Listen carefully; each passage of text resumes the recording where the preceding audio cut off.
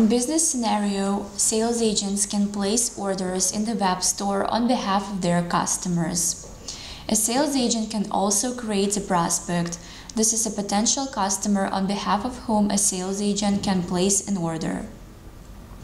At first, let's open Sana Admin and go to Setup, Customer, Profile Fields, Prospect Profile.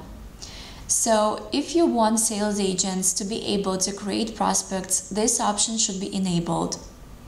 Here you can also manage the profile form that is used to create a prospect in the web store. You can add, edit and remove different fields that are used on the Create Prospect form. In the web store, a sales agent can create a prospect from the My Account page only when no customer is represented. At first, the sales agent should enter prospect details. Pay attention to the country field. Countries that are valuable in this drop-down should be configured in SAP Business One. Click Administration, Setup, Business Partners, Countries. Make sure that for all countries that should be available in the country list in the web store, there is a template customer and the value of the visible in the web store field is set to Y.